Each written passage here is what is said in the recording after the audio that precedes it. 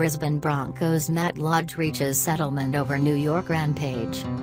Brisbane Broncos forward Matt Lodge has reached a settlement with the family at the center of his notorious New York rampage. According to Lodge, he has organized a loan and will pay the full amount straight away, with Broncos CEO Paul White revealing salary cap constraints prohibit the club from assisting in the compensation in any way. Lodge's father and White both flew over to New York to assist in the June 11 mediation process.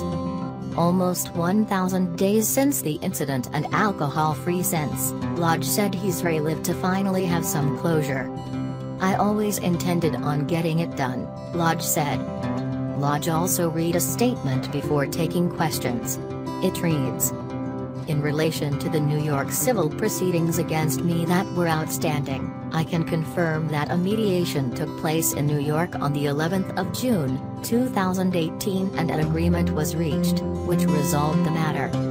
I'm thankful to those impacted by what I did in 2015, that a resolution has been reached. I want to reiterate how sorry I am for what happened and how it has impacted them. I cannot disclose any other details of the agreement as it's confidential, however I can say I will pay the agreed amount by myself.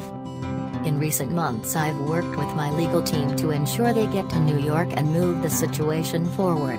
I was represented in New York by my lawyers, by my dad and Paul White also attended to provide support where needed.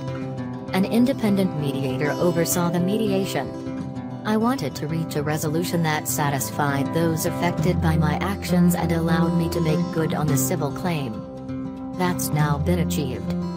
Again, I want to say how sorry I am for my actions. Moving forward I now have a young family, my partner Jess and child Kobe and I fully appreciate the consequences of my actions on a daily basis. I have been through a range of rehabilitation programs and continue to do community work as well as completing my university study.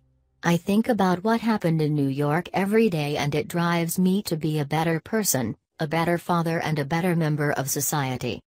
I know that I have to continue working hard to earn the respect of the entire community and the NRL community.